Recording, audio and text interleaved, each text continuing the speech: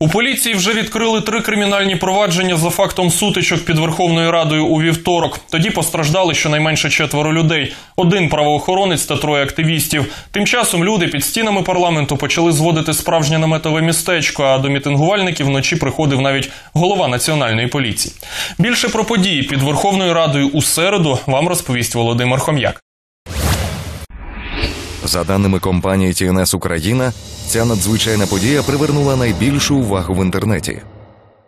Мирний мітинг біля Верховної Ради виявився не зовсім мирним. Вже за перший день протестів поліції відкрили три кримінальні провадження, зокрема за фактом нападу на поліцейських, пошкодження майна, а ще за фактом грабежу. До слова, на лікарняні ліжка потрапили одразу два правоохоронці. У них лікарі діагностували травми середньої важкості. Окрім того, в поліції заявили про небезпечні знахідки у активістів. кажуть, не всі прийшли під Верховну Раду з порожніми руками. Ми вилучили велику кількість вибухових пристроїв, гранат, е, автомати, димові шашки, балаклави. Є два факти побиття працівників правоохоронних структур. Чи- структур. Чим завинив хлопець 21-річний гвардієць або 25-річний працівник спецпідрозділу, який прибув сюди забезпечувати охорону громадського порядку? А тим часом активісти біля Верховної Ради розбили наметове містечко. Кажуть, що стоятимуть до перемоги. Пригадують, що вночі тут були невеликі сутички із правоохоронцями і запевняють, постраждали не лише силовики, а й активісти.